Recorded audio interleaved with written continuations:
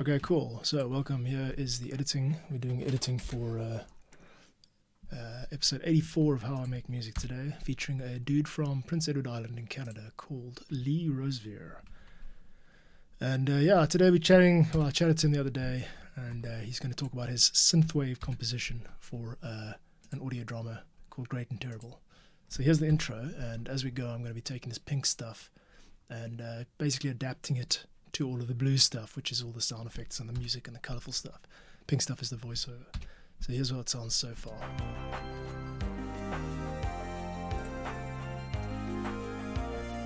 The piece of music we're listening to now in the background is called Discovery. Is it a kick in with the It's snares? a retrowave soundtrack from a fiction podcast called Great and Terrible by A.R. Olivieri. Is it a kick in with the It's snares? a retrowave soundtrack from a fiction podcast called Great and Terrible by A.R. Olivieri. Is it a kick in? Oh, all right. Hang on a sec. Just sorting out some Very. stream issues quickly. Oh.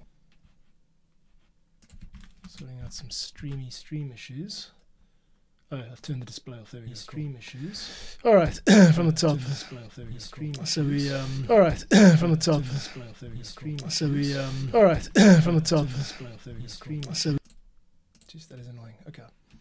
Today I'm editing episode 84 of How I Make Music, a podcast that I run, and I'm featuring this episode features a guest called Lee Rosevere, who's a Canadian composer and radio guy. And uh, all of the pink stuff is his voiceover, all his interview material, Scored by Zach Robinson from and all the blue stuff is the music that he sent me, along with other influences like Jean-Michel Jarre and uh, other 80s influences that went into the making of this track that we're talking about. Uh, yeah, as you can see, I've done most of the sort of donkey work, uh, splitting the usable audio from the unusable audio. So I've taken out all the parts of his voiceover that I can't use, and I've got these uh, regions here in Reaper called influences, guitar, bass line, drums, Rocket Max, and that allows me to quite easily reorder uh, some of the parts to make it a more engaging uh, interview experience. So the fun stuff happens now. This is always my favorite part. What I'm going to do first is I'm going to import all of the stems, which I've got on this other screen, into. Uh, let's just give one breaker there. Cool. Import them all into separate tracks. Reaper kindly names them all for you. Uh, it looks like I've made a mistake. Let's undo that. First thing I need to do is duplicate a couple of these. Now we should have enough. Okay, let's try that again. Uh, what we're doing is importing all of the separate parts into Reaper so that when he starts talking about them, I can solo them out. When he talks about a single part, I can solo it out. Okay, so they should all be synced up. I hope they're all synced up. Yeah, they are. First thing I'm going to do is just link them all with the letter G to uh, kind of make them treatable as one. Oops. Okay, wait, wait, wait, wait. Uh, beats positioning right, yeah, that's right. And then take them down sort of 12 dB uh, so that they don't all come blaring. Okay. All right, back to the start. Um, intro. The piece of music we're listening to now in the background is called Discovery. Some snare. It's a retrowave soundtrack from a fiction podcast called Great and Terrible by A.R. Olivieri. Cool. Today we'll break it down and get into what retrowave is and how and why this piece was put together. I just want to raise the volume of that How and why this was put together. was put together. I need to take that up because it's a little bit low. So I'm going to crank it 12 dB in the clip itself and then drop the level here. Why this piece was put together. That's too loud. Why this piece was put together. This piece was put together. Yeah, especially with monophone audio, you need to crank everything. You're listening to How I Make Music. You're listening to How I Make Music, where audio drama composers get to tell their own stories.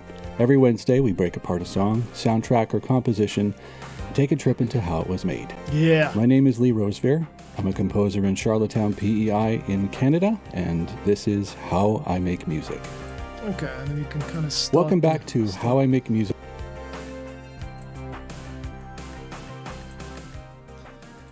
Welcome back to How I Okay, what I what I like at this point, I've started to started to include audio drama clips under that statement. Welcome back to how I make music. So I'm going to take the one that I have, this audio drama clip. I think there's a space for it down. No, there isn't. Okay, let's just uh, duplicate that guy, and I'm going to stick it in here. Another editing trick that I've started to employ is to uh, cascade the parts that you're using. All the clips that you're using, you'll notice there's a diagonal line sort of going from top left to bottom right. And that helps because you know that the further forward in time you are, the closer to the beginning you are, the higher up it's going to be. So you, you spend less time hunting for stuff, basically. So I'm going to stick that audio drama clip right where it belongs, one across and one down from the opening music. And I'm going to start to fade it in right actually as the music fades out and while he's starting to speak. Let's see if it sounds good. They are so wildly reductionist, it pains me. I'm Welcome back no to means How I Make. Music, episode Nor am I an 84. outcast. Discovery by Sure, me, I've Lee smoked Rosevere. pot. Thanks for al- thanks for Great listening. and Terrible is written dir- Oh, uh, this- Welcome back. So you mentioned there's like a one minute promo at the end of each episode. Wildly reductionist, it actually got invited. serious. Crystal right in front of Welcome back to How I Make Welcome back to How I Make Music, episode 84. Discovery by me, Lee Rosevere. Thanks for listening in. Jane, answer me. Oh, Terrible Jane, answer me. Okay, that's quite of a.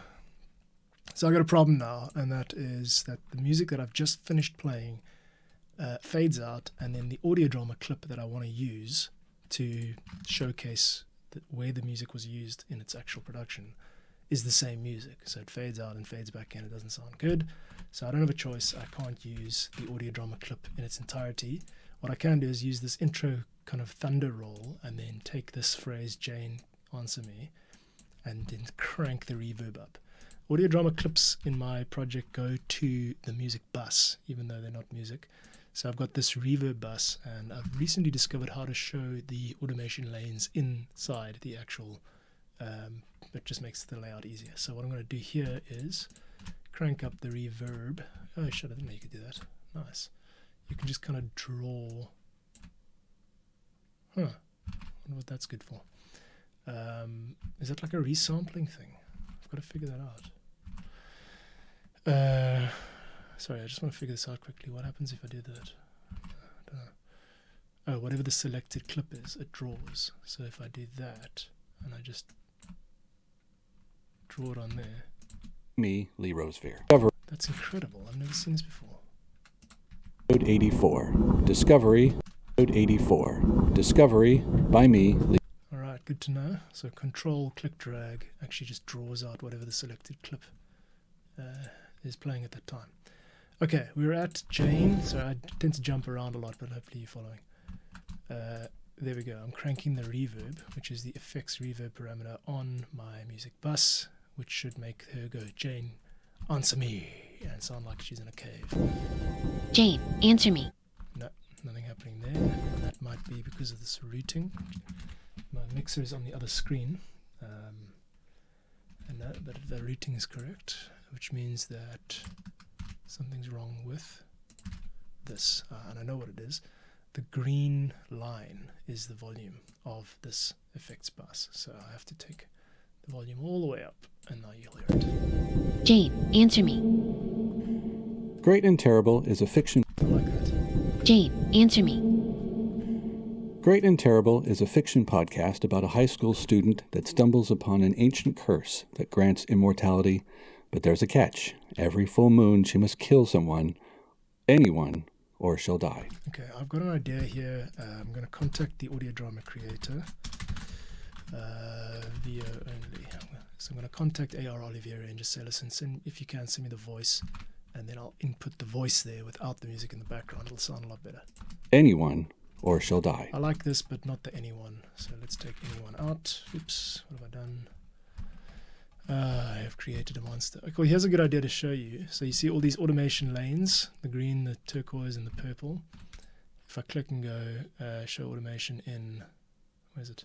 Oh, you click on an automation lane, and then you say show visible track envelopes in media lane. It's going to overlap the audio, which is much more like concise for editing and stuff. Only problem is you don't know what's what, but if you hover over it, you can see it says frequency band, frequency band 1, frequency band 4, envelope volume. So if you know what your lanes are that you're using, that's actually a way better way to do it. Okay, moving forward, uh, we are here. Jane, answer me. Thanks for listening in. Jane, answer me.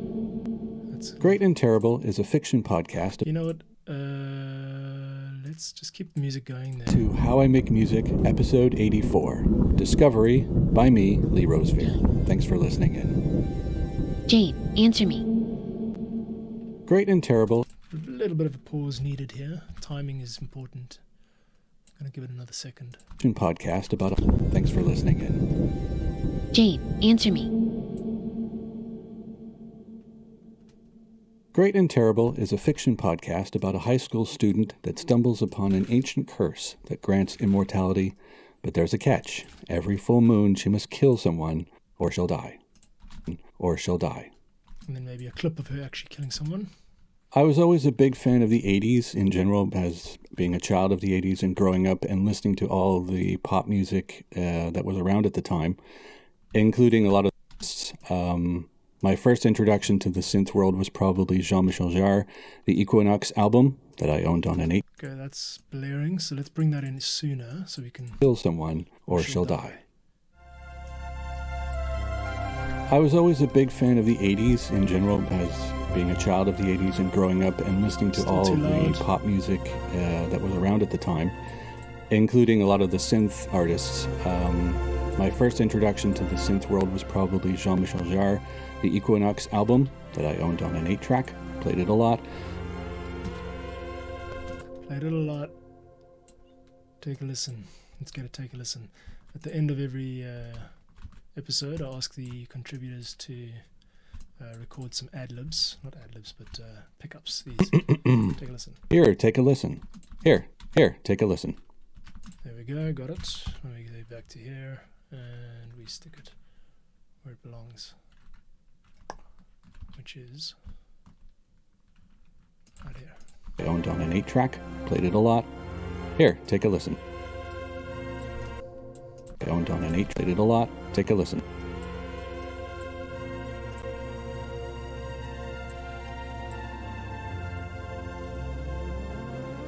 Uh, then moved on to. Actually, I like it without. Played it a lot. some- Just, pref- just like that.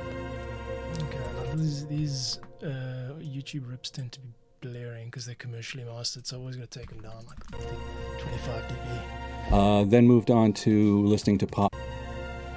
Now I like to time these transitions and make them a little bit like sort of musical. Oh, there is a problem. I've forgotten to turn down the reverb send on this part here. So actually, Jean-Michel Jarre, uh, let's get you back down where you belong. one or she'll die. Um, my first introduction to the synth world was probably Jean Michel Jarre, the Equinox album that I owned on an 8 track, played it a lot.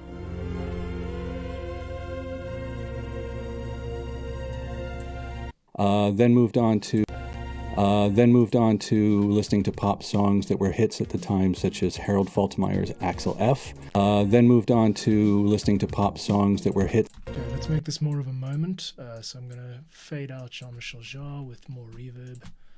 And there was a cool way to do this that I can't seem to find anymore. Dish, dish, dish, dish. Here we go. That's better. Little bit earlier. Uh, then moved on to listening to pop songs that were hits such as Harold Faltermeyer's Axel F. Uh, Paul Hardcastle had a big hit with the song 19, which led me to the rest of his songs. Uh, Fly By Night by him was one that I listen to a lot that has a big influence on the way I write music. Music. The way I write music. Take a listen. The way I write music. Take a listen. To do a little bit of a volume boost there. Um, okay, another way we could do this, instead of dropping these uh, source audio levels down, what we could do is what I should actually be doing, and that is to adjust the sidechain compression um, threshold. So let's just get to that. It's going to be under music recomp. Here it is. So you is Harold Faltermeyer. notice when the voice comes in, the music goes down. Is Harold Faltermeyer's Axel. Loud. Uh, then Soft. moved on to listening to pop songs that were That's hits great. at the time, it such like as that. Harold. Lee, Jean-Michel Jarre, or Sheldon. I was always a big fan of the Cool. Should have done that in the first place. All good. Let's take that up to 15 dB. Boom. as being. Okay.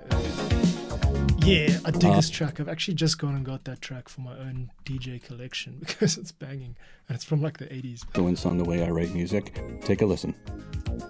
Take it's a so listen. groovy. It's like, I don't know, Miami or something. The way I write music. Take a listen.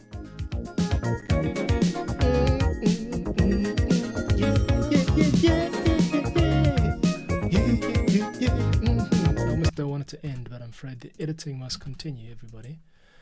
So, moving on. Uh, the end of Paul Hardcastle Fly Me. What's it, what's it called?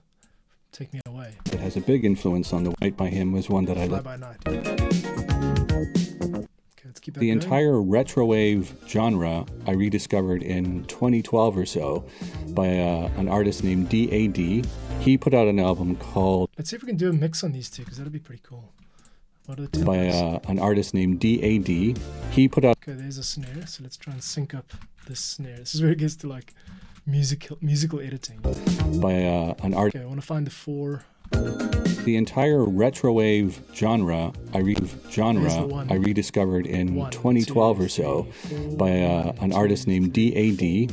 He put out an album. Uh, AD. He put out an no, wait. I've got an idea. D. He put out an album Three, called the see, there's the, the Con- there's the one. Now we want to find the one on here.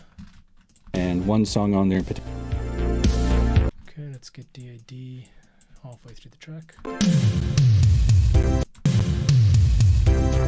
There's the one. Okay, now we've got a one meets a one. Now we're just got to do the fine tuning of the He sync. put out an album called We definitely don't need the voice for this. It's going to be a bit slow, I think. It's just still, it's, quite, it's not a bad cut. This guy needs to come down a good, whatever, 10 dB. Uh, let's take it down to minus 15. Because this DAD one is a re, it's a, a recent release, a recent commercial release versus the one from the 80s. It's obviously going to be louder because everything's been getting louder progressively since like the 60s. Two, three, four. I think we might be able to do a cut. Why don't, why don't we do a little special moment here? I'm going to add an EQ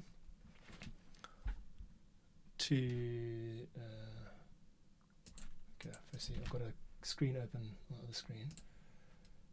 And I'm going to add an EQ to.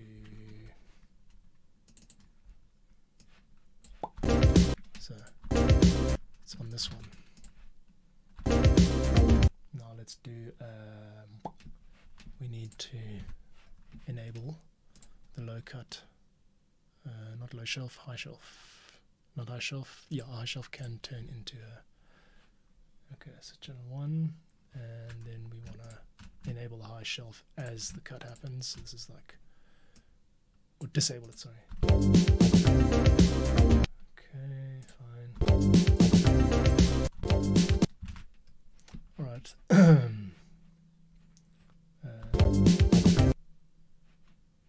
What just happened?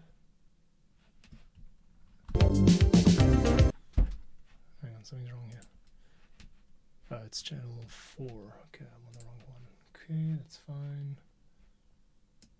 I want it to be a high pass.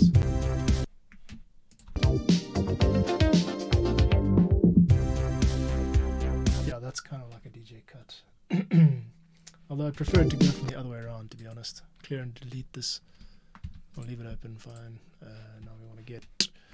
What I'm trying to do is create a high pass filter, gain high shelf, and at this point we want to. There you go, that's what I'm after. Nope, that's not what I'm after. I'm after. It mustn't be a high shelf. Um, tripping out here, man. Okay, disarm all track envelopes. All track envelopes. Let's try this again. What we want is a high cut as a low pass filter. And I want the low pass filter to. Oh, that's right, I have the gain instead of the frequency. The low pass filters gain. No, we want a high pass filter, not a low pass filter. Let's try that again. Uh,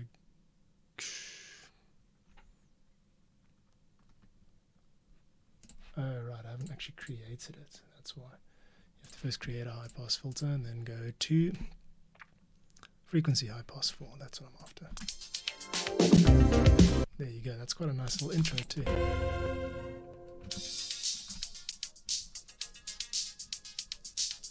Yeah, let's do it like that. We're going to bring that boogie in, son. Yeah. So see how this sounds? I'm such as Harold, the, the big influence on the way I write music. Take a listen into a lot that has a. Uh, take a listen. Okay, I want to move this guy up, so Uh, then moved on to it has a big influence on the way I write music. Take a listen go. on the way I write music. Uh, Fly by Night by him was one that I listened to a lot that has a big influence on the way I write music. Take a listen. Fly by Night. By him was one that I listened to a lot. Take a listen. To a lot. Take a listen. There you go. That's a nice little moment for the cut. So here we go. Lot. Take a listen. Just a little bit late. Take a listen. And we want this to be maxed out. So Listen to a lot. Take a listen. Fly by Night by him was one that I listened to a lot. Take a listen. Take a listen. Take a listen. Take a listen. Got to bring it in a little bit more. Uh, Paul F. Uh, Paul Hardcastle had a big hit with Axel F. Uh, Paul Hardcastle. Can lose the uh. I'm just gaining a bit of. Axel F. Paul Hardcastle had a big hit with the song 19, which led me to the rest of his songs. Uh, Fly By Night by him was one that I listened to a lot. Paul Hardcastle had a big hit with the song 19. Okay, we can move that The song 19. Fly By Night by him was one that I listened to a lot. Take a listen. Fly By Night by him was one that I listened to a lot. Take a listen. Okay, now we can actually have some breathing room. So what I'm doing is I'm trying to time the vocals. Castle had a Castle had a F. Paul Hardcastle had a big hit with the song 19. Fly By Night by him was one that I listened to a lot. Take a listen. There you go. Now we've got the time. Okay. Uh, right. So you can see what kind of like detail goes into this work when you want to get it right, when you want to do a good job of the, the editing, which is mostly timing, actually. That I listen to a lot. Take a listen. That's fine. I like that. And at the very end here, we want to do the opposite and basically raise the, the filter. He put out an album called The Construct, and one he put out an album called The Construct, and one song on there in particular called Love Will Make You Stay really caught my ear and went on and one song on there and one song on there in particular called Love Will Make You Stay really caught my ear and went ear and went day really caught my My ear. day really caught my ear really caught, really caught my ear. On there in particular called love will make you stay really caught my ear. Ear. What is this?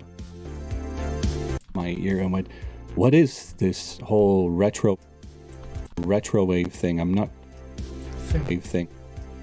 Wave thing. Wave thing. Wave thing. What wave thing? Wave thing. What is this? Okay, that's cool. Just a little bit loud. Okay, bringing that down. what is this whole album called? The construct and one song on there in particular called love will make you stay really caught my ear and went what is this whole retro wave thing Yeah, what is this whole retro wave thing? Thing. Uh, what I'm thinking here, if just for kicks, is to uh, firstly show the automation and then yeah, just smash it up here. Let's see how that sounds. So Now I've got not music, sorry. I want the vocal effects to be pumped over here. So I'm going to take the delay. To add a point. Here. Oh, come on, man. There we go. retro wave thing. Whole retro wave thing. And again, we've got the volume that needs to come up. So here we go. Boom, boom. What is this whole retro wave thing? Retro wave thing. Okay, I think that's reverb. What is this? Envelope delay. Oh, that's the timing of the delay. So that should actually just be up the whole time. Boom. And then this is the feedback of the delay. So that must come up over here. I'm trying to create a delay effect on his voice. Retro wave thing. Yeah. This whole. What is this whole retro wave thing? What is And now there's an issue, which is the filter is still quite low. Uh, so we're going to add that, pump that up. what is this whole retro wave thing? No, that's not the one. What is this whole retro? What is a flanger? So many filters on here, I don't know what the heck is going on. What is this whole retro wave thing? Okay, why don't we do ourselves a favor and get this chain FX Vox. We don't need that filter. What is this whole retro wave thing? Thing, thing, thing, thing. That's kind of what I'm going for is thing, thing, thing, thing, thing, thing, thing, thing. Okay, wet, wet protoverb, we can take that down. Uh, we don't need, to don't need that. Retro wave thing. The nitty gritty, kids, hey? Uh, wait here. Retro wave thing. Retro wave thing. Okay, I think the. I think I've got it. The tempo delay is way too high. Retro wave thing. And Retro wave thing.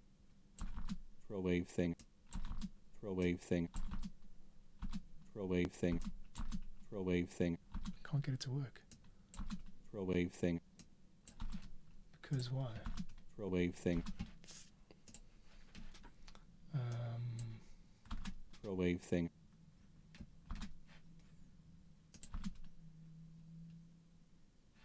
Retro wave. output dry must be zero. Retro wave thing. And then what's the reason for it not? Oh, it's a six second delay, that's why. Okay, so that's way higher than it needs to be. Feedback's going to turn into an infinite loop. We don't want that. Here we go.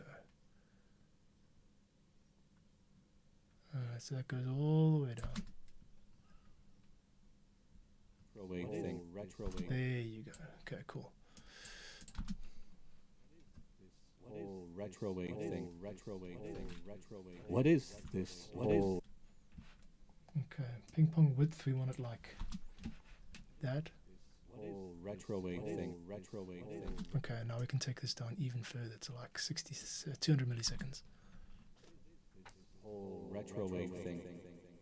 That sounds a bit more. What is this whole retro wave thing? I'm not. I'm like I lived through this once already. So Yeah, that's it. Now we're getting a bit spicy. what is this whole retro wave thing? I'm not. I'm like I lived through this once already, so it's kind of cool to have it to go through it again. Because See, I want to get more into vocal, like whacker vocal effects on this show, psychedelic. That's why I changed the intro title to like, instead of investigate the insights into how it was made, I've changed it to take a trip into how it was made because this, this, to be honest, no one knows, or really, you know, cares too much about a guy called Lee Rosevere in the same way that no one cares too much about a guy called John Bartmann's work. It's about an audio listening experience. It's about giving something to people, whether or not they're musicians, and uh, letting them escape their boring lives for a minute. That's what it's about. So that's what I'm trying to do here. Let's see how it sounds. on there in particular called "Love Will Make You Stay" really caught my ear and went, "What is this whole retro wave thing?" Okay, it's good, but I just need to crank it up a little bit in volume, yeah.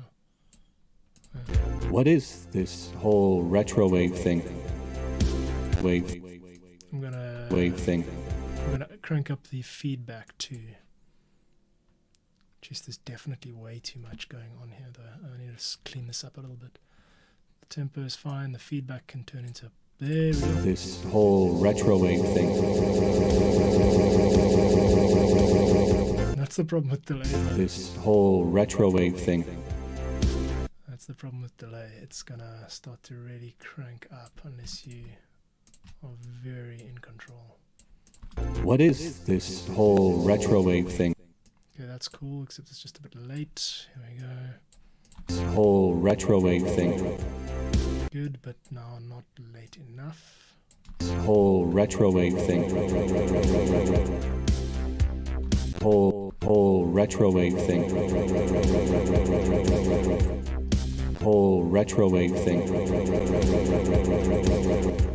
Retro wave thing. Whole retro wave thing. This is a Whole retro wave thing. Like, I lived through this once already, so it's kind of cool to have it to go through it again because it's just, you know, firing all the nostalgia synapses. Oh, you can turn the volume down. I'm just like, I lived through this once already, so it's kind of cool to have it to go through it again because it's just, you know, I'm just like, I lived through this once already, so it's kind of cool to. I'm just like, I lived through this once already, so it's kind of cool to have it to go through it again because it's just, you know, firing all the nostalgia synapses.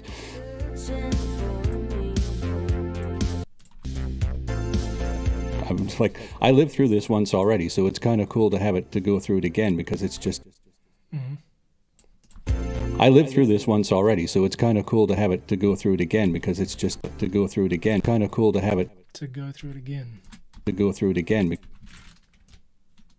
So it's kind of to go through it again. because So it's kind of to go through it. Cool to go through it again because it's just you know firing all the go through it again because it's just you know firing all the again because it's just you know firing all the nostalgia synapses because it's just firing all the. Okay, I've got an idea. Let us sing first because it's just again because it's just you know firing all the nostalgia synapses Let it, let it do a bit of singing in between. again because it's just you know firing all the nostalgia synapses Those gaps, my friend, are what make this show what it is. It's like these pauses in between the verbal diarrhea that most podcasts seem to fall victim to. Breaks, breaks. And I can kill all of these lanes, make it clean it up a bit. Nice. I do like that. Cool.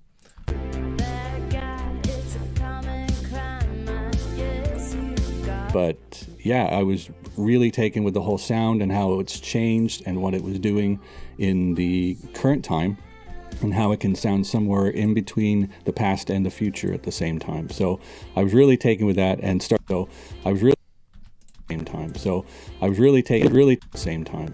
So i was really taken with that and started listening to a lot of it really taken with that and started listening to a lot of it and then decided that the past and the future at the same time Yeah. I was really taken with that and started listening to a lot of it and then decided that I think I'm going to try making some of this music. I think I am too, bro. This this guy has inspired me to get a little bit more retro. So retrowave is a bit of everything. Okay, we've done enough of this track now. Uh, so we're gonna do a fade out and then also a nice long music uh, channel reverb swell. Okay, wait, I've got to figure this out. Um, you add a dot, you add a point like that, and now when I want to add another point, it doesn't let me. And I used to be able to do this, but I don't know how anymore. You gotta actually grab it. It's so annoying. Okay. So retrowave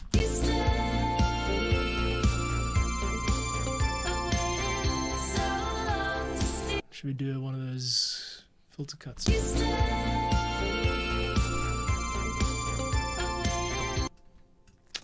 Actually, yeah, I'm gonna gonna take this EQ from that earlier DJ cut, that DJ mix sort of moment that we created, and I'm going to add it to the music bus, which means I now have the ability to do a high pass um, transition.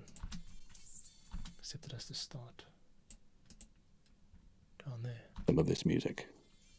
No, what have I done wrong? Some of this music. Oh, I'm on.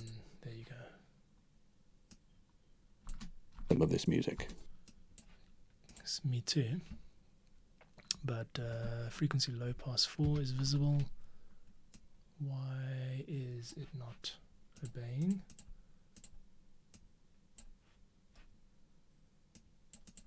Not obeying. Why is it not obeying? Why, oh, why is it not obeying?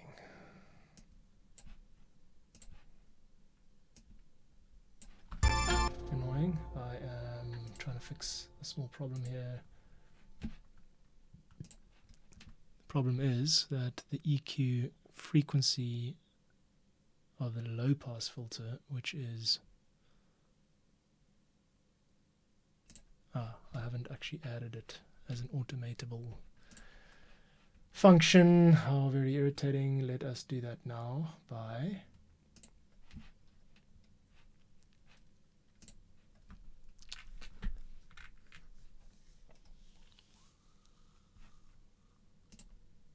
change low shelf to uh, high pass.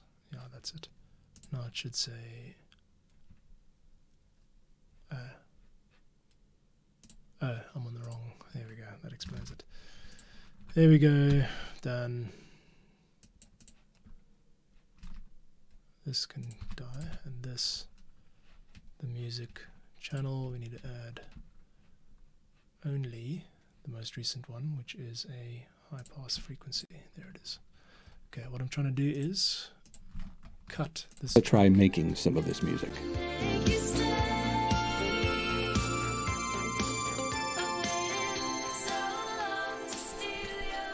So retrowave is a bit of so retrowave is a bit of everything, the past and the future all brought together with the sounds of the 80s, but a lot of them have been amped up for current times. Uh, they're mostly associated with movies from the 80s, like the action, sci-fi, or the horror movies like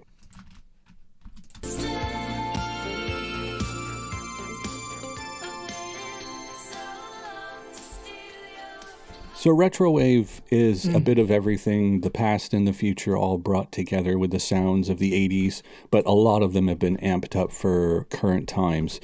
Okay, this is kind of weird. This episode, it's not really focusing a lot on the um, on the audio drama. It's more focusing on you know the sound of the 80s. A bit of everything, the past and the future all brought together with the sounds of the 80s, but a lot of them in sci-fi or the horror movies like uh, they're mostly associated with movies from the 80s, like the action, sci-fi, or the horror movies like Okay, I just want to reset this.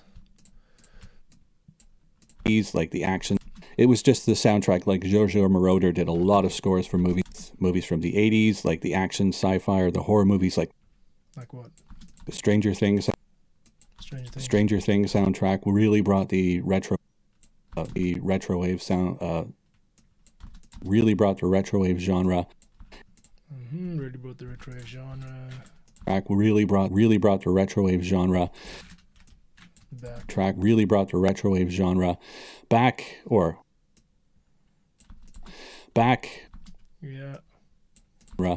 back the soundtrack really brought the retrowave genre back Okay. it was just the soundtrack like Giorgio Moroder did a lot of scores for movies in the 80s and he's also a pioneer of that kind of sound uh, it was used in the Stranger Things soundtrack and more recently in Kung Fury which Okay. Um. Back. back and more recently in Kung Fury, which is actually scored by Zach Robinson from DAD. I think he's one of the co composers on that. So, and that's become a huge hit for him and also bringing that sound even more into the mainstream than it was before. Even more in and even more sound, even more, also bringing that sound even more into the mainstream. He's one of the co composers on that. Okay, I've got a Kung Fury moment, which I haven't actually got yet, but that should be cool. brought the retrowave genre back. right, we'll work out what to do there, and that's the end of the influences section now. Um, on to. Let's start with baseline. So this song that uh, Discovery uh, started with the the main melody that's heard off the top after the big synthy ambient intro. So some of the most common instruments that are used in retrowave are huge snare drums, Okay, let's add a huge snare drum at this very moment to demonstrate what he means. And I know how to do that. There is a huge snare drum right here. I'm going to use the very end one, I think. This guy here. Why have we got snippets? I don't want snippets. Okay, there. And now we mute everything with, with a zero. And than it was before. just machine gun sound. Okay, kill the automation on the music channel and where is he talking about snares? At the beginning of To the main first Kung Fury and then we'll start this section here. And I think we can shift it all up, can't we? Yeah, there. Cool. So some of the most com- so some of the most common instruments that are used in retrowave are huge snare drums. Okay. So some of the most common instruments that are used in retrowave are huge snare drums. Lots of reverb, which I am always a big fan. So some of the most common instruments that are used in retrowave are huge snare drums. We want to show this. Yeah. Okay. Uh, the reverb channel. Back to the reverb channel. A lot of reverb, he says. Lots of reverb, which I am al- Okay. One small thing I have to. lots of lots of reverb, which I am always a big fan of. Um, retro synths like the ones um, retro synths like the ones from the 80s is Okay, I kind of want to make this a bit more f- smooth flowing. lots of reverb, which I am always a big fan of. Um, retro synths like the ones from the 80s is always a big fan of. Um, retro synths like the huge snare drums, Okay, and then all of this has to come forward a bit. snare drums. Lots of re- move that forward. lots of reverb, which There's a bit of a pop on the beginning of this clip. lots of reverb, lots of reverb, which Where, or is it here? I am always lots of reverb, which I am always a big fan of. Lots of reverb, which lots of re- lots of reverb, which I am always a big fan of. Um, are huge snare drums. Lots of reverb, which I am huge snare drums. Lots of reverb, which I am always a big fan of. Um, retro synths like the ones from the 80s is retro synths like the ones from the 80s is from the 80s Let's just get another snippet of a synth in there. He's got uh, Futura, which just gets a mention later. So we've got we've got space to give it a bit more room here. retro synths like the ones from the 80s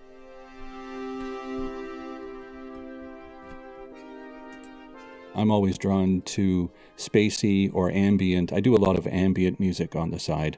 So that kind of colored how I approach this. So my Uh, okay, he mentioned spacey or ambient. Do we have a spacey or ambient pad to back up what he's saying? That would be nice. Uh, intro, arps, bass, guitar, synth, melody 2. Let's try that. Um, that's not ambient. Synth main. Yeah, that looks a little bit more ambient. Okay, let's try that. authentic is the current retrowave probably see or ambient. I do a lot of ambient music. So that kind of colored how I approach to spacey or ambient. I do a lot of ambient music on the side. So spacey or ambient. I do a lot of ambient music on cool thing I've realized is what you can do just to clean up your workspace. Why is this guy so? Uh, you can open up the track manager, no, the um, track manager, and you can just hide some of the stuff that you've already used. I haven't used that. Equinox, yeah, all of these things, intro theme. Just going to clean it up a bit, make it easier to work with. Okay. to I'm always drawn to spacey or ambient. I do a lot of ambient music on the side. So that kind of colored how I approach this. So I do a lot of ambient or ambient. I do a lot of C or ambient. I do a Once again, I'm going to remove references to him, ambient him and his own ambient. I do projects and I because this isn't about him ambient or even me, which is my why my voice isn't in it. or ambient It's about an experience. It's about a listening experience that's pleasing. ambient.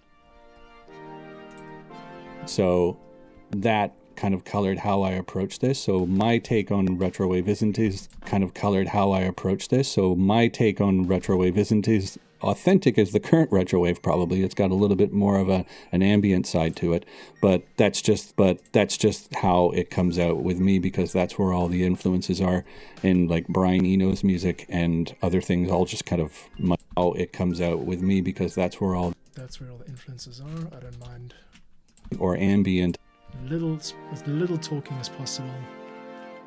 Because that's where all the influences are in like Brian Eno's music and other things all just kind of mushed together. Now, what I can do is um, I'd like to get into the track itself. We'll come back to that. We'll come back to that. Let's do the breakdown next. This piece is labeled guitar. Some of the other most popular aspects of the music is really distorted high uh down the song for you and show you some of the individual parts. Okay. This is actually guitar, so we're going to turn this into. I don't know. I don't even know if we need that. Yeah, let's delete that. And this now becomes breakdown. I'm going to do it quite early in this episode. Normally I leave it to the end, but Spacey or ambient because that's where the influences kind of mushed together. Because that's where all the influences are in like Brian Eno's music and other things all just kind of mushed together. Okay, uh, now the idea that I've got is to cut everything from that point onwards and reboot. So I'm going to bring in all the stems again and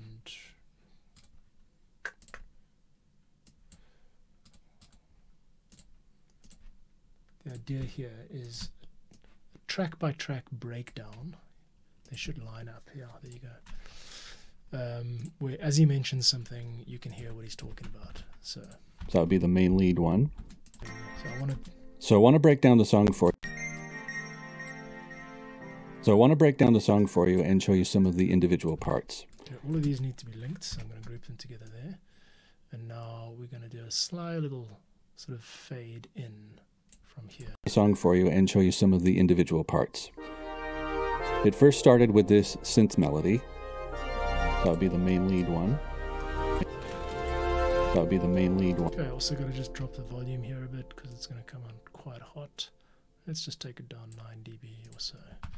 Okay, So I want to break down the song for you and show you some of the individual parts. It first started with this synth melody.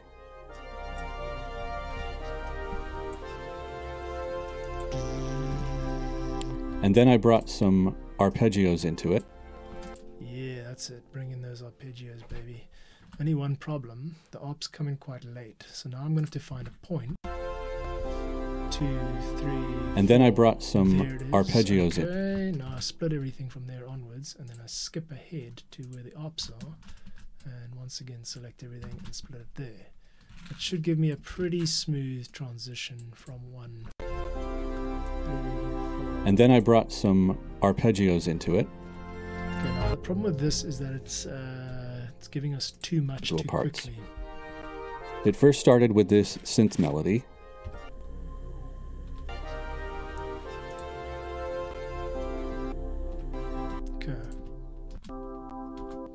Take out organ. Let's take out everything and just kind of let the thing breathe a bit. parts. It first started with this synth melody.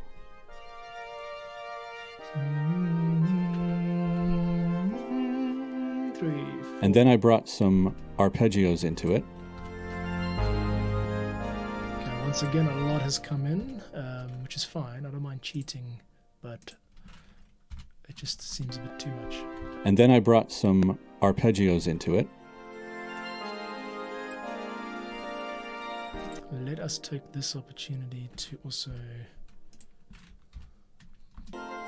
And then I brought some arpeggios into it. Uh, we want to turn crossfade on so that when I click and drag. Oh, wait, no, we first want to. There. Then I brought some arpeggios into it. That's nice. And there's two basses going on at the same time here. No, drums must definitely not happen yet. Uh, we just want this guy from here on. At the same time here. And time here.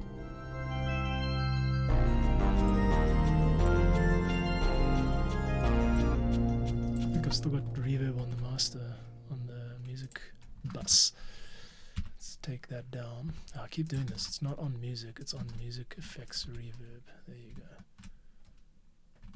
Okay, I don't mind remixing his track a bit. So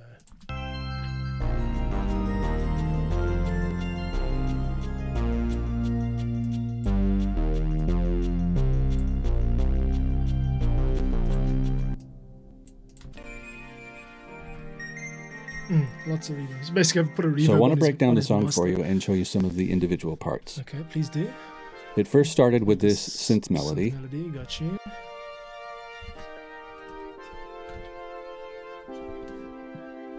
And then I brought some arpeggios into it. Yes. And there's two basses going on at the same time here. Here. Bring the snare and stuff in, the percussion in. Yeah, this is how you do it. Cool. Next. The guitar is actually a sampled VST. The guitar is actually a sampled VST. That's not the guitar, that is the main lead, which doesn't happen yet.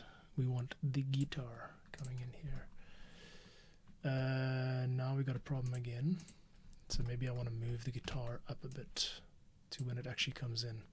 So this The is string kind of a real-time approach. This one, strings here, yeah. the strings are an instrument called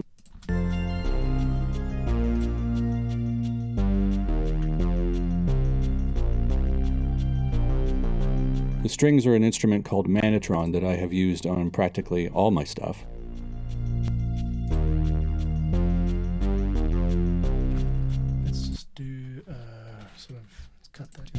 Practically all my stuff.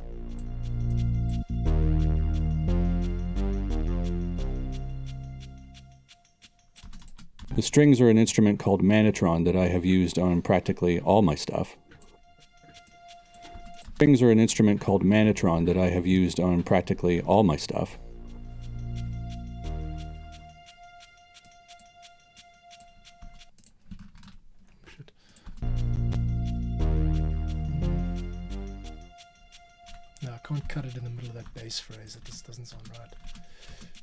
Used on practically all my stuff. Let's just take the volume of the strings up at that point, should we? And reuse the volume automation. All my stuff.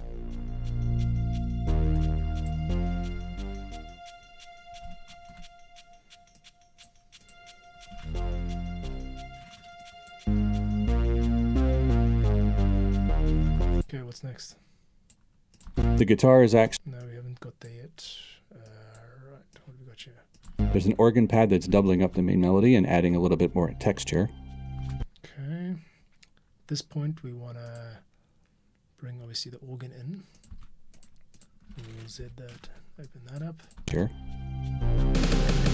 Nope,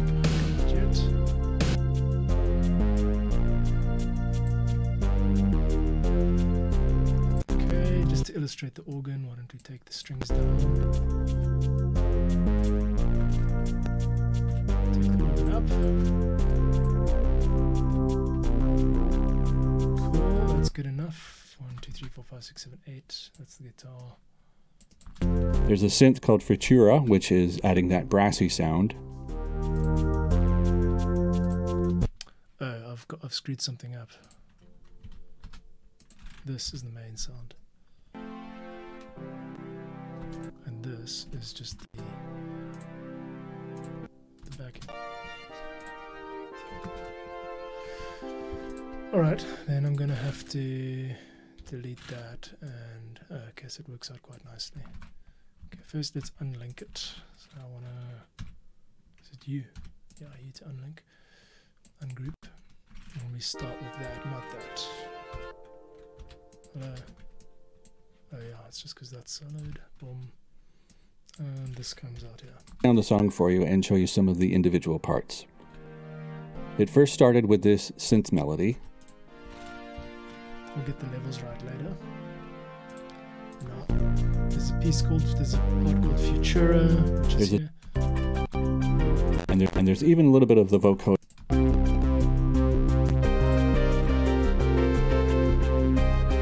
What's this?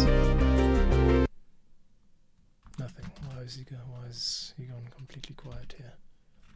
Huh. Interesting. It's just muted it for some reason. Crazy. The guitar is actually guitar. which is adding that brassy sound, Okay, so the feature actually starts here. which is adding that brassy sound, Start right on that, right on that downbeat. which is adding that brassy sound. Take the organ down. So yeah, I'm doing this. I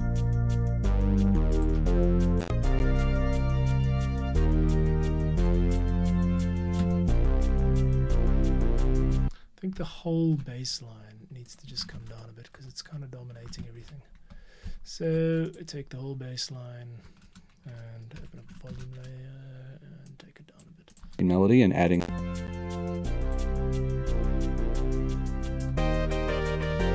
What is that? I love that. actually a sample. And there's even a little bit of the vocoder in there. Vocoder in there, which is an instrument used a lot in Daft Punk. Futura, which is adding that brassy sound,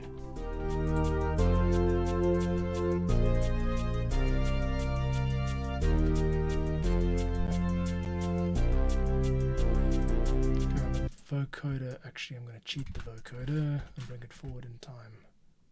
So there should be one here.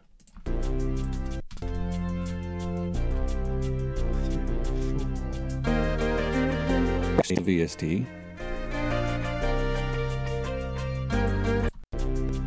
The guitar is actually a sampled VST.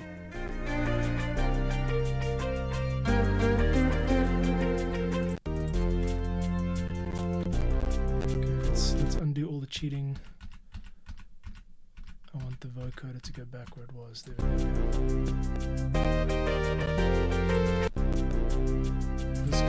The guitar is actually a sampled VST.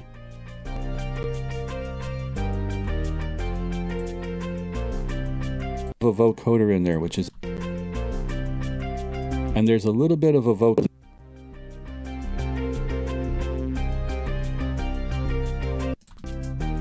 The guitar is actually a sampled VST.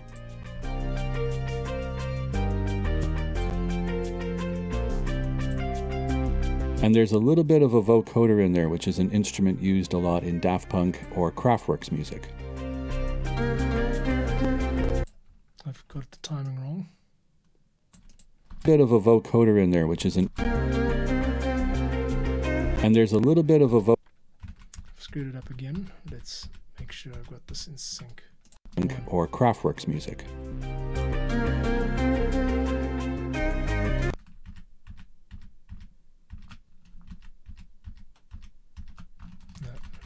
Myself any favors here, am I? Uh, Kraftwerk's music.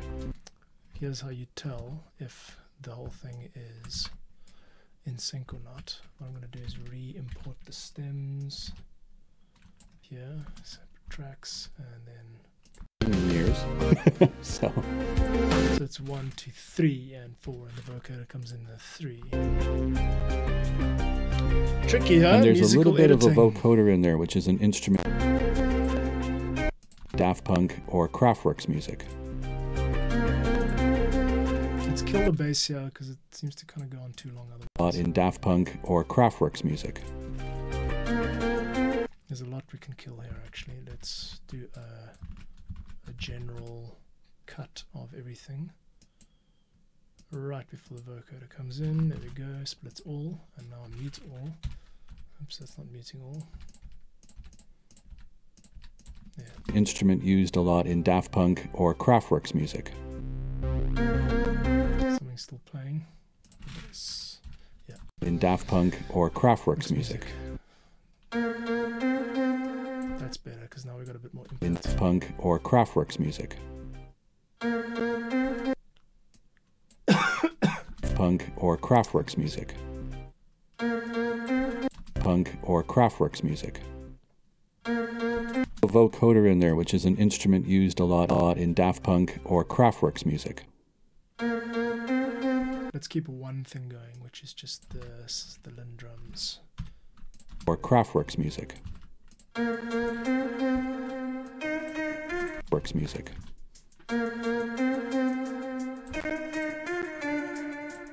Let's keep one more melodic element going. Music.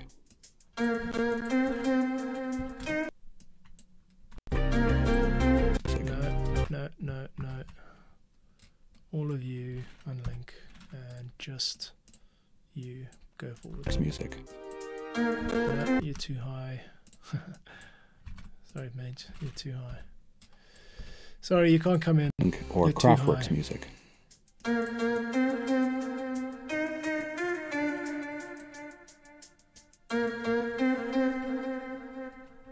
Nice little delay there. Cool. Or Kraft. Now that might be a good opportunity to split. Um, it's a nice, feels nice to end it there. Or Kraftwerk's music. and we can restart it with the drums section.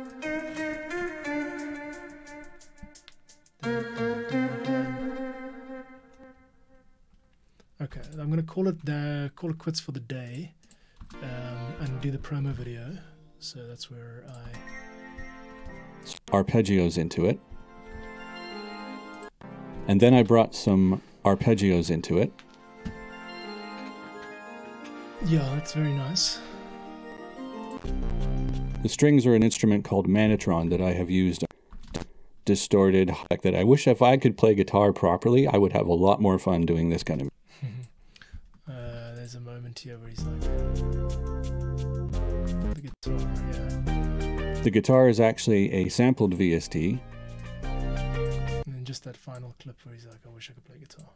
Yeah, that's another aspect that I wish if I could play guitar properly. If I could play guitar properly, that I wish if I could play guitar that I wish if I could play guitar properly. I wish if I could play guitar pro- guitar properly, I would T. I wish if I could play guitar bar properly. I wish if I could play I wish if I could play guitar properly, I would have a lot more fun doing this kind of music. And there's a little bit Give of me a a call, bro. I'm here. I just got Guitar Rig 6 and it is sounding dope. What I like most about it isn't just obviously the sounds are great. It's the fact that you can search them easily. Like, because I've got a GT6, which is an old Boss multi effects pedal, like on the floor. And uh, it's like banks of four. So if you want to find something, it's like next bank, select one, two, three, four. Next bank, select one, two, three, four. Next bank. I don't have time to like write out all the patches, and besides, I don't think the sounds are worth it. GT6, use your keyboard. Just like search for hair metal or metal, and it'll give you like 20 patches that you know are going to sound better than the GT6 anyway. So, as much as I'm uh, reluctant as a guitar guy to switch over to computer-based modeling, it really is quite superior, and um, nothing nothing gets missed, nothing goes missing, nothing gets lost using computer. Bummer, man. Kraftwerk's music.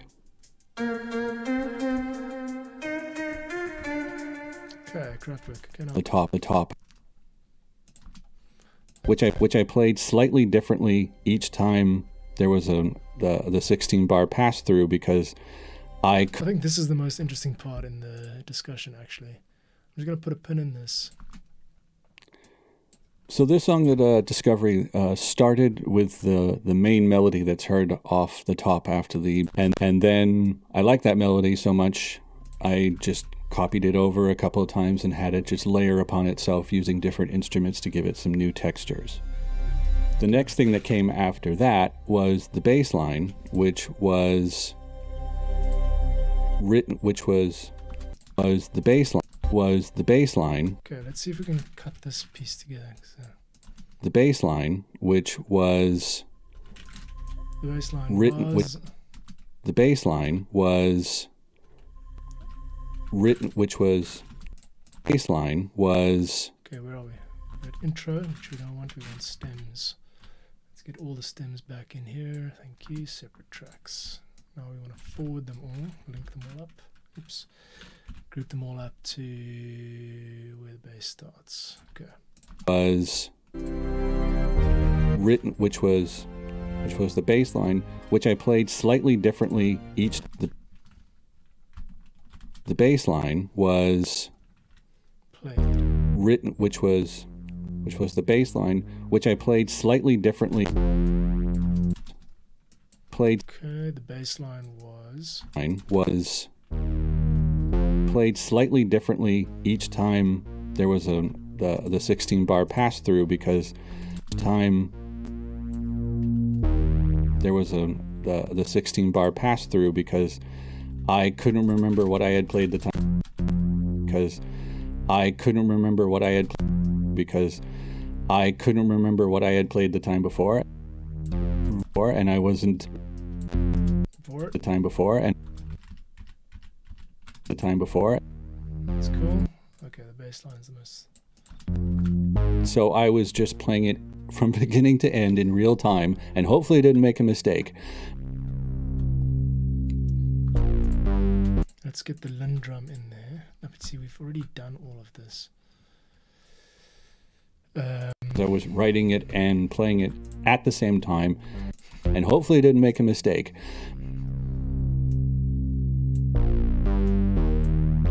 I was writing it and playing it at the same time and playing it at the same time this is actually a way they used to do it in the 70s before they had sequencers. They had to play all the parts in real time on real instruments, and if they messed up, they had to go back to the beginning and do it again. But there is something to be said for playing the song from beginning to end and really kind of hearing how the whole thing sounds as it's as it's being composed, you know, as it goes along. Cool. So I think we've got an angle for this guy. He's kind of uh, a little bit older. I think he was born in the 70s, based on our chat. And so we can kind of frame him as um, a dude who was around before computers. And playing it mistake. Didn't make a mistake. Use what I'm doing is fetching a laugh, which is always useful. Mistake. Showing, And hope- showing vulnerability is endearing.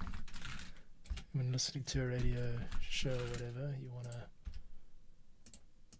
encourage people to show their vulnerability. Make a mistake.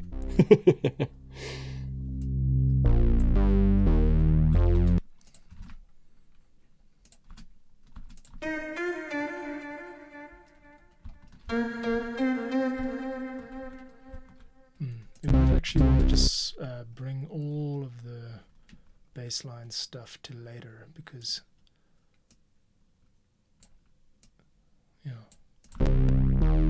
bass line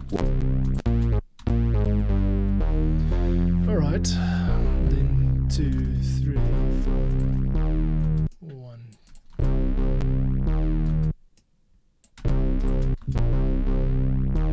the bass line was played slightly differently each time because I couldn't remember what I had played the time before. So I was just playing it from beginning to end in real time and hopefully didn't make a mistake. So I was just playing it from beginning to end in real time and hopefully didn't make a mistake.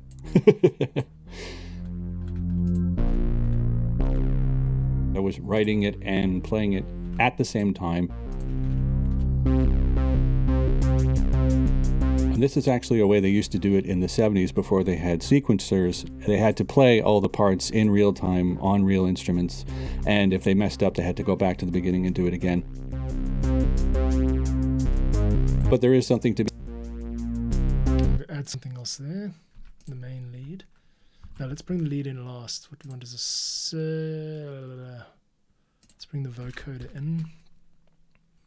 Um, and the ops, yeah, the ops are good here. Good. I had to go back to the beginning and do it again.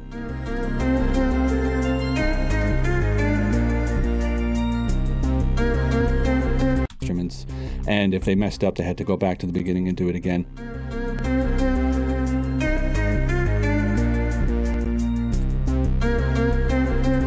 But they're a bit loud. the beginning and do it again.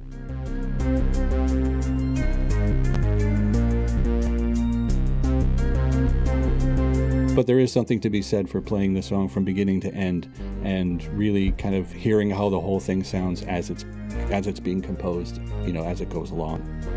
Played drums on anything in years. so Why don't we, yeah, just segue straight into the drums? That's a good idea. Cool. All right, so this might not be the most. action recorded, I can just like hit a button, you know, as it goes along.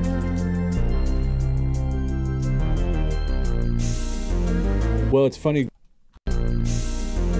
Well, it's funny. Drums is my first instrument, but I didn't play. and I haven't played drums on. Drums is my first instrument. Drums is my first. In- drums is my first instrument, but I did Okay. drums.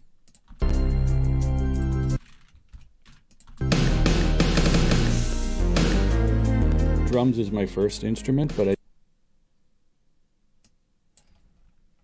I've got a moment where I mention the snare. That's here. So up till halfway through the song, I'm using a Linn drum machine for the bass, uh, for the kick, and for the clap sounds. But then I really wanted this next level to come in with the snare. So I have this huge, huge snare drum No, actually, let's save that for um, the after story. because I can't replicate it in the studio, the little studio. There are no actual live drums on this because I wanted to have the authentic 80s drum sound, which means the bass line was played slightly differently each time because I couldn't remember what I had played the time before. So I was just playing it from beginning to end in real time and hopefully didn't make a mistake.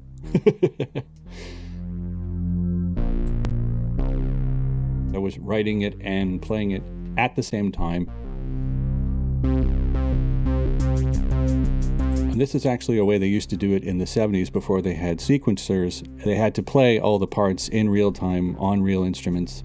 And if they messed up, they had to go back to the beginning and do it again. That's good enough. But there is something to be said for playing the song from beginning to end and really kind of hearing how the whole thing sounds as it's as it's being composed, you know, as it goes along. In the 70s before Cool. because I couldn't remember what I had played the time before.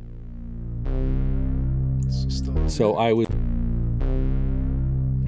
so I was just playing it from beginning to end in real time and hopefully didn't make a mistake. That's cool. All right, we've got a we've got a working. No, we just need to lock that. Okay, cool. I think I'm gonna end the stream and start doing some of the sort of promotional balancing and stuff. So please, please lock. Thank you. Why do you bring up the lock settings every time? Time selection. Yes, there. That's right. Uh, lock, unlock. Yeah, cool. That's about it for the stream. You got the idea of how I'm doing this. It's very tight, a musical, well timed sort of uh, editing process, which is bringing this composer's uh, interview audio to life. And uh, yeah, the focus is on creating a listening experience and not necessarily, um, you know, uh, the, the, a high profile guest or anything like that. This is about the audio on its own, regardless of who's speaking. It's the aim of the show, at least. So yeah, thanks for tuning in if you tuned in, and otherwise check the video on YouTube when it's done. And this is how I make music, the editing of episode 84, which will be out on Wednesday. Peace out.